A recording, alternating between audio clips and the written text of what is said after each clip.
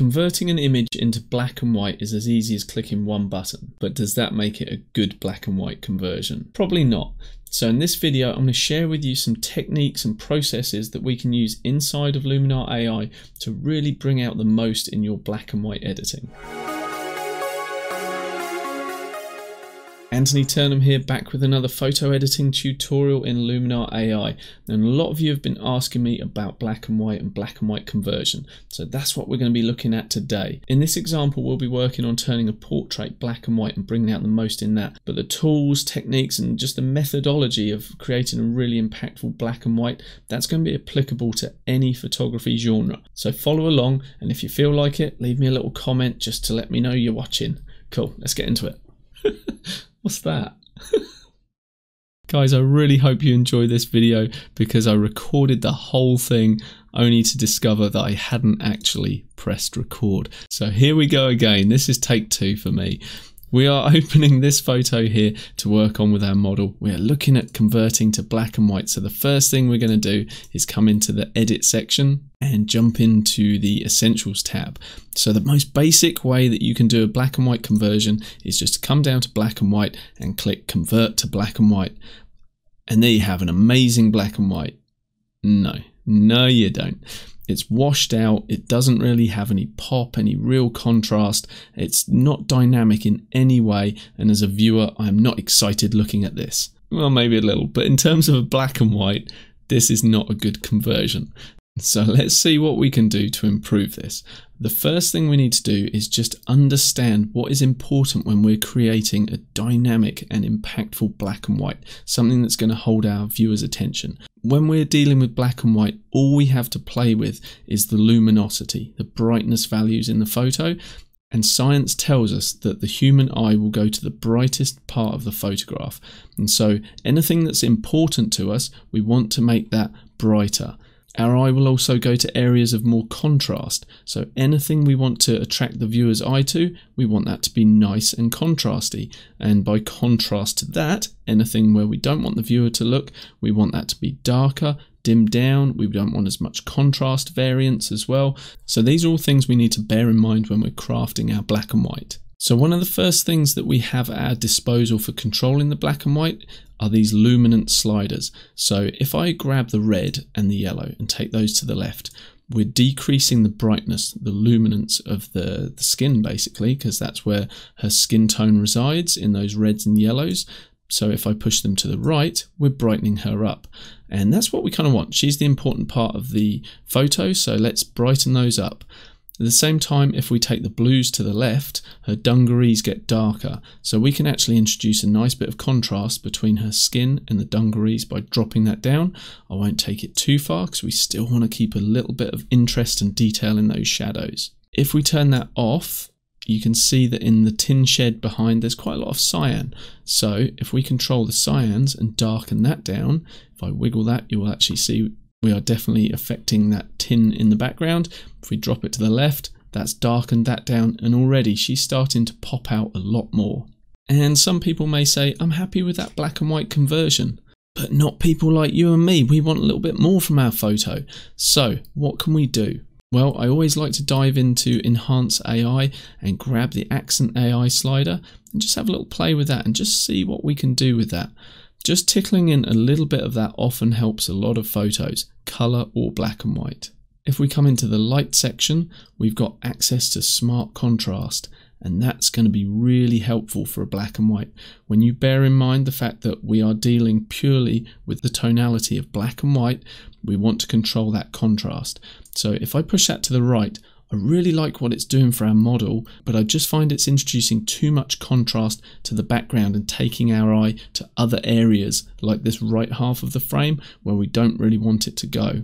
But I'm not going to worry too much about that because I'm going to deal to those areas later. So my approach is I like to get my subject looking great and then I can tone back areas of less importance. In any black and white, what I like to do is have a pure white point. So if I start pushing that to the right, you can see that our histogram reflects as I push the white further up. We're pushing our whites to pure white. And the same with the blacks, we're pretty much at pure black already here in the histogram, but I'll just drop that down a little further. And now we're getting a very, very contrasty image. So I'm going to bring the highlights back down just to protect those slightly. And I might also boost the shadows up just to bring a little detail into those darker areas. Somewhere around there is good. So currently I feel like our model's looking pretty good, but we're far too bright on this pillar here. This is one of the reasons I chose this photograph to demonstrate because you're going to get areas where the brightness that you've applied affects areas that you don't really want people focusing on. So there's a couple of ways we could deal with that. One way might be to jump into the pro section here and use dodge and burn and actually burn down or darken this post. So we could just click and start painting and darken that down. You do the same over the hay here. But I'm not a big fan of this method because I don't feel like I've got too much control with that. So I'm just going to click this arrow to reset that and we'll look at a much better way to deal with that. Let's jump into local masking and add a basic layer. Now here we have a lot more control. I'm going to look at the background, this pillar, all of this area and forget about our model for a moment and I'm just going to reduce the brightness and the contrast. I'm going to reduce the highlights perhaps even bring the shadows down slightly. And I could reduce the structure so we're blurring things slightly and I might do that just slightly, not nothing too much. And perhaps even bring the exposure down even further and the highlights too. And now we've pretty much got two layers going on. We've got the original photo that we edited where the model is looking great, but we had too much contrast in the background. And now we have this layer, this local mask that's sitting on top of it, which is basically reducing contrast and darkening the image down. So all we need to do is create a mask to reveal our model. So let's click and start painting on our model. We can use the bracket keys to bring the size of that brush down slightly. And we just want to make sure that she's nice and bright. And if we feel like that transition is too strong between her and the background, what we can do is make sure that the opacity is quite low, somewhere around that 20% mark, and we can just paint a little bit of a wider edge around her, just so that it feathers that effect off. And now we've got a more natural, believable transition. And that darkened down area, if we feel like we want to reintroduce that anywhere on her, or maybe even this hay here, we can paint it back in. So I'll grab my brush and I feel like her leg is actually a little bit bright so I'll just paint over that just ever so slightly maybe just dab the brush once there and now over the hay here again because I feel like that is actually a little too bright as well. And now with that level of contrast on our model, the fact that we've toned down the background, our eye goes exactly where we want it to in the photo, and that is a much better black and white conversion. So if we compare the edit that we've just done